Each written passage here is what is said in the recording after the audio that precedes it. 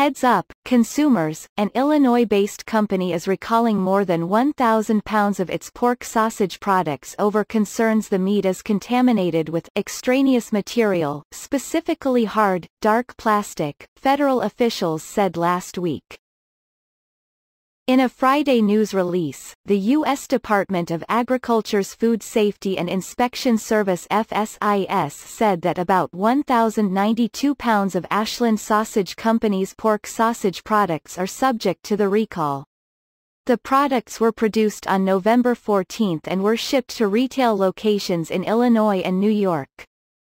The affected products contain five pieces of Nerscher natural casing sausage. The 12 ounces products have the lot code S318 and bear the establishment number EST 21549 inside the USDA mark of inspection. The recall was initiated after a customer reported that he or she found two small pieces of dark hard plastic in the product, as per the recall notice. No adverse reactions related to the call back have been reported to date.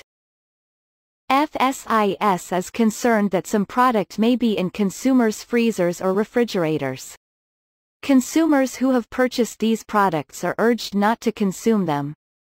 These products should be thrown away or returned to the place of purchase, said federal officials.